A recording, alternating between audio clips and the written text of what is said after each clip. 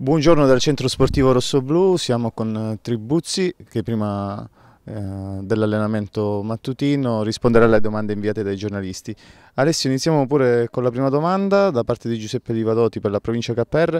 Sarà sempre un Crotone con Tribuzzi protagonista e quindi cercherai di confermarti indispensabile anche nel girone di ritorno? Soddisfatto di come ti sei espresso nel girone d'andata?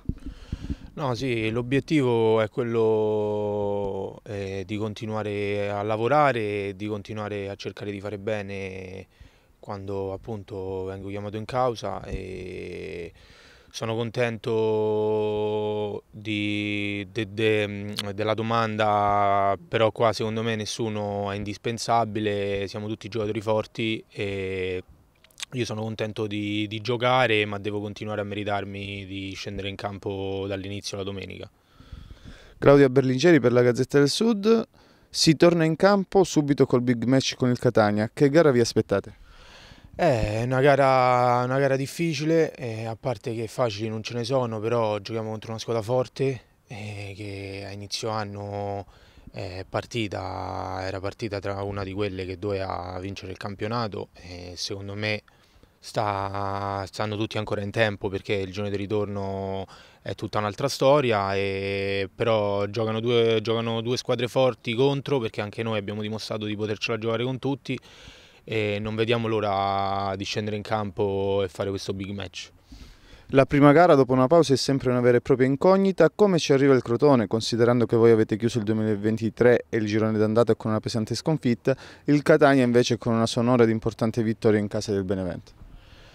No, ma il Crotone secondo me ci deve arrivare con la consapevolezza, come ho detto prima, che lo ha dimostrato, l'abbiamo dimostrato in tutte le partite e anche con le grandi che possiamo giocare proprio in maniera tranquilla e dobbiamo scendere in campo con questa consapevolezza, con la consapevolezza che incontriamo un avversario forte, che sta in ripresa, che sta in fiducia perché vincere a Benevento non è facile e, però noi ci siamo già, già siamo mentalizzati e già ci stiamo preparando per questo.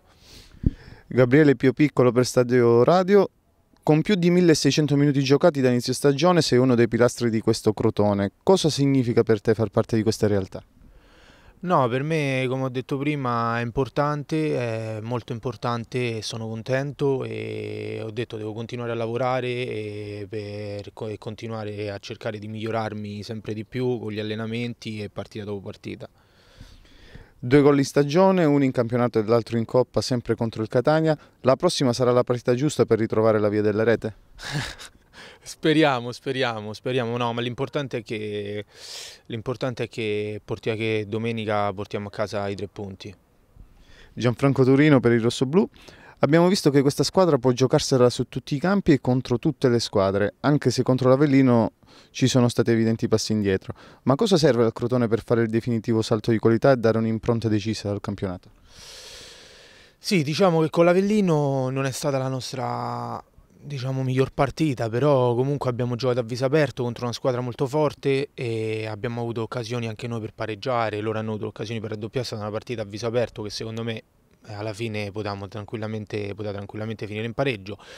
Però è andata così secondo me noi dobbiamo continuare come abbiamo finito le ultime 10 perché quello è un dato di marcia importante e noi dobbiamo continuare a cercare di fare più risultati utili consecutivi per cercare di rimanere scia nei posti alti tu sei uno dei leader di questa squadra, ti senti questa responsabilità addosso?